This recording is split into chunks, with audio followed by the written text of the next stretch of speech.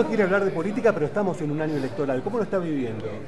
Con mucha angustia. ¿Por qué con angustia? Y porque sí, porque no veo soluciones, porque se pelean mucho, se dicen cosas desagradables, se agravian.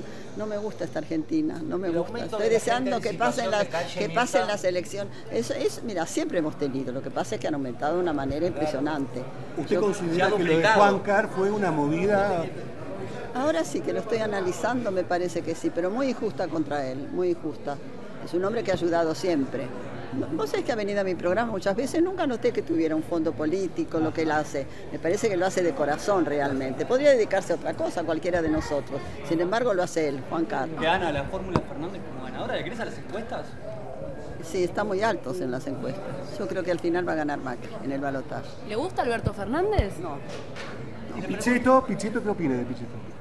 Conozco, lo conozco por la televisión, nunca lo vi. No A Susana Jiménez le preguntaron, ¿usted le diría a los pobres que lo voten a Macri? Susana dijo sí. La misma pregunta le hago a usted. ¿Usted cree que los pobres deberían votar a Macri? No sé, lo están pasando muy mal, eh, hay que convencerlos. Primero hay que arreglarles la situación, que dejen de ser medianamente pobres o que no sean más pobres, que dejen de serlo. Y después eh, seguramente los votarán, pero hay que arreglar esta situación, hay que solucionarla. Han crecido un 30% los pobres. Yo a lo que aspiro es que a, que nos unamos todos los argentinos, que desaparezca esta famosa grieta, que no nos agretamos más, que nos queramos un poco más, que somos todos argentinos. Y como dice el fierro, si no nos devoran los de afuera.